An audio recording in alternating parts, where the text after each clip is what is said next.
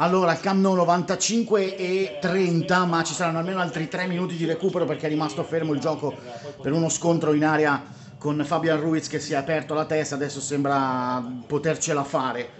Uh, 1-1 uh, fino a questo momento, un gol per tempo, Zelinski nel primo tempo, rigore di Ferran Torres nel secondo, rigore per un tocco di due dita che non sposta niente, però vabbè, lo prendiamo e ce lo portiamo a casa. E vediamo l'assalto finale perché il Barça negli ultimi 15 minuti ci ha messo letteralmente sotto. È vero che non abbiamo cambi, vieni Koulibaly, via, è vero che non abbiamo cambi, però stiamo giocando eh, con Di Lorenzo e Malqui, eh, Juan Jesus e Mario Rui eh, Koulibaly e Ramani e poi Dem e Fabian Ruiz eh, con un ass dietro a Mertens, stiamo proprio schiacciati e loro ci stanno schiacciando e per puro caso non hanno trovato il gol eh, del, del, vantaggio perché le occasioni negli ultimi 15 minuti ne avranno avute nitide almeno tre.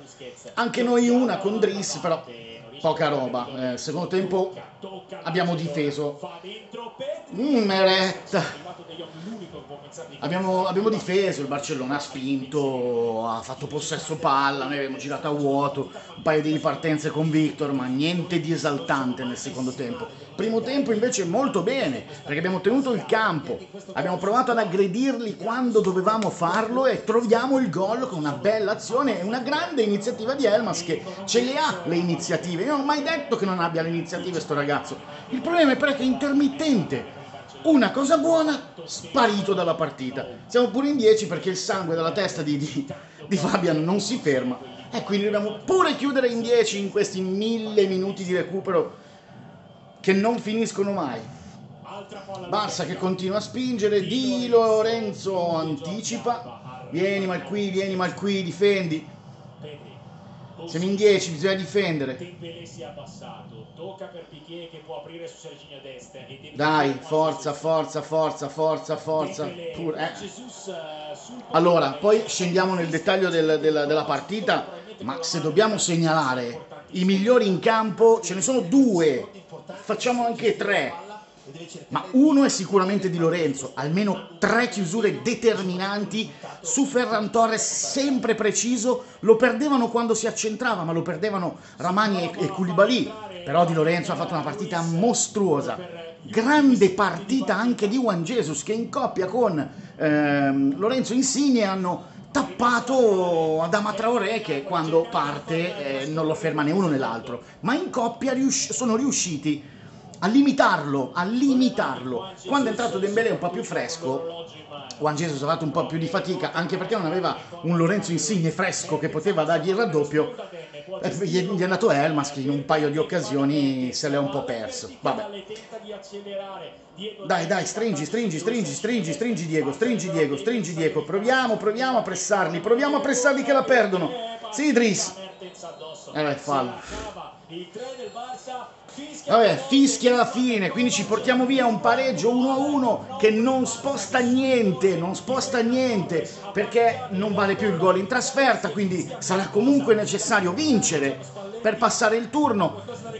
Però per come è andata la partita è un pareggio che ci portiamo volentieri a casa, perché siamo obiettivi. Stasera il Barcellona, forse, anzi sicuramente, dai, volevo, volevo non essere troppo, eh, ma meritava qualcosa in più hanno, hanno fatto un finale in forcing molto importante e non l'hanno trovato il gol del vantaggio per la scarsa vena realizzativa di Ferran Torres che si è mangiato letteralmente tre gol. Tre gol se li è mangiati nitidi. Però tornando al ragionamento di prima, dicevamo molto bene eh, Di Lorenzo, molto bene Juan Jesus, bene Koulibaly, Victor ci ha messo impegno, ma abbiamo deciso di non lanciare nello spazio e, e non gli abbiamo dato le le palle per mettere in, in, mostra le sue caratteristiche principali, perché quando lo abbiamo fatto, lo abbiamo fatto magari sbagliando il passaggio, magari non dandolo nello spazio ma buttandolo sull'esterno, allora lui doveva girare e fare molta più strada per andare verso la porta, ma la tattica era quella, appena avevi un buco, lanciare nello spazio Victor. E non lo abbiamo fatto, ma per scelta credo, perché non è possibile che per tutta una partita tu non lo faccia mai e lo fai solo quando sei costretto. Eh, non va bene, quelle sono le nostre doti.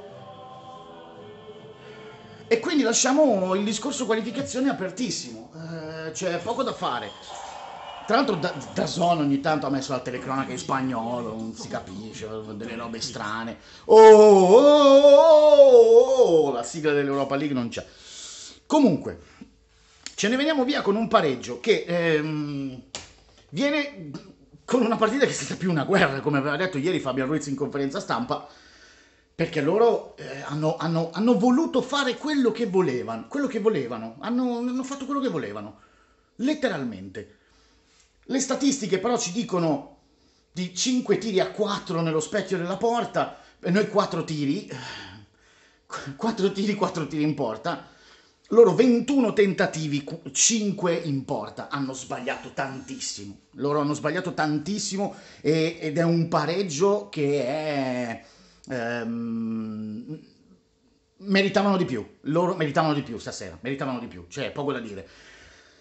Però quante volte ci è successo anche a noi di tirare, tirare, tirare, tirare, una scarsa percentuale eh, di realizzazione. Loro il gol l'hanno fatto su un rigore che, boh, io l'ho visto e non l'ho visto, lo vorrei rivedere, ma parliamo di Juan Jesus che si muove, tocca la palla con due dita, la palla non si sposta, quella palla fac- avrebbe fatto quella traiettoria anche senza il tocco delle due dita di Juan Jesus. Per me sono rigori follia quelli, però... Ehm, l'hanno chiamato al bar e gliel'hanno dato. E vabbè, eh, pazienza, un rigoraccio, ma eh, prendiamolo con filosofia. Prospettive per la gara di ritorno. Allora, intanto il gol in trasferta non esiste più, quindi non vale un cazzo il gol che abbiamo fatto, vale semplicemente per il discorso che ci giocheremo la gara al Maradona in cui comunque bisognerà vincere perché in caso di pareggio con qualsiasi risultato si andrà ai supplementari e poi ai rigori. Quindi comunque non sposta niente. Devi vincere per passare il turno ed è bello anche che sia così, finalmente, perché 1-1 e 0-0 passiamo noi o 1-1 e 2-2 passano loro, mi sembravano comunque delle fesserie che finalmente la UEFA, la FIFA chi per loro hanno sistemato. Quindi bisognerà vincere perché nel calcio serve vincere per passare i turni e quindi al Maradona dovremo fare un gol più di loro per passare oppure andare a giocarci le supplementari e poi eventualmente ai calci di rigore. Ma è un discorso che affronteremo più avanti. C'è però qualcosa da dire, eh, perché qualche scelta, intanto i cambi tardivi, io non capisco se Spalletti non si fidi di alcuni, non, non, non, non li vede in forma però i cambi andavano fatti un po' prima, perché quando il Barça ne ha messi dentro tre, ha cambiato un pochettino eh, l'inerzia della partita, stava andando a scemare il ritmo del Barcellona. Fatti i cambi, il Barcellona è venuto fuori e noi abbiamo continuato per altri dieci minuti senza cambiare nessuno, fino a che poi lo stesso Anghissà eh, è morto, non ce la faceva più, non, non, speriamo che non sia niente di grave, perché già non c'è lo Botka, se ci, continu- se ci manca pure Anghissà a Cagliari andiamo in emergenza, già abbiamo fuori Politano e Lozano, basta, basta, basta.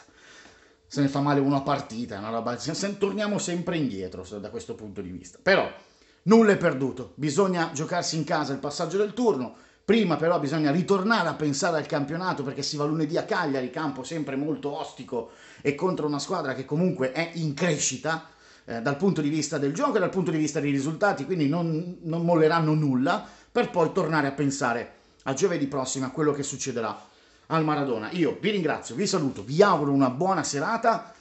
Ci vediamo nei prossimi giorni per un approfondimento tra il Barcellona e il Cagliari, cerchiamo di capire anche le condizioni della squadra in, questo, in questa giornata e mezza che, che, che ci sarà, per domani magari faranno lavoro di scarico e poi il vero allenamento sarà sabato, visto che giochiamo lunedì e speriamo che non si sia fatto male soprattutto Anghissà e che il ginocchio di, di Victor non, non, gli dia ancora eh, fastidio. Amici stracandidi, buon proseguimento a tutti, vi ricordo come sempre di iscrivervi al canale, mi raccomando attivando la campanella video in tempo reale, non dimenticate che il calcio fa bene alle ossa anche durante l'Europa League.